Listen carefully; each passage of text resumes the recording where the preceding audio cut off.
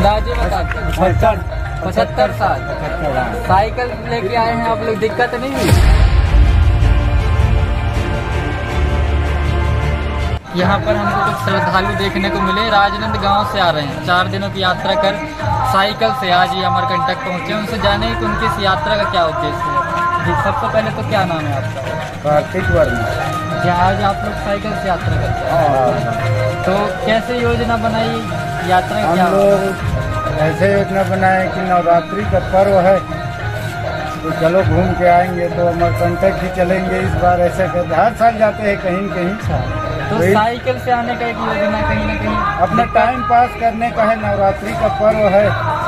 सब जगह देवी देवता का उत्साह है तो वहीं से अपना तो सब लोग एक ही आप लोग मतलब एक ही गाँव के एक ही गाँव के।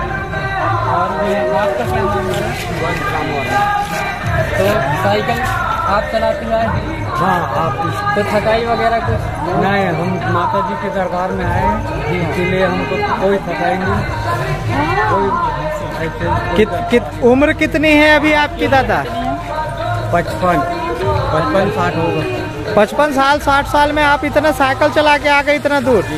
कितने दिनों में पहुँचे हैं आप यहाँ? चार दिन हो गए आज चार दिन में आप यहाँ पहुँचे? हाँ, चार दिन में चार दिन में यानी सब लोग एजेड ही। हाँ, हैं एक ही सबसे बड़ी बात तो ये कि युवा कहीं ना कहीं कतराते हैं साइकिल चलाने से लेकिन आप देखिए कि उम्र दराज और साइकिल पर इतनी दूर से आना चार दिन की यात्रा करके कहीं ना कहीं एक बहुत बड़ी बात है। और ये अमरकंटक में पहुँचे हुए हैं नवरात्रि का पर्व मनाना। है कि क्या उम्र है? उम्र लगा उम्र कितनी उम्र उम्र? आओ। वो यहाँ नीचे है। अंताजी बता अंताजी। अंताजी पचहत्तर। पचहत्तर साल। पचहत्तर हाँ। साइकिल लेके आए हैं आप लोग दिक्कत नहीं हुई? अब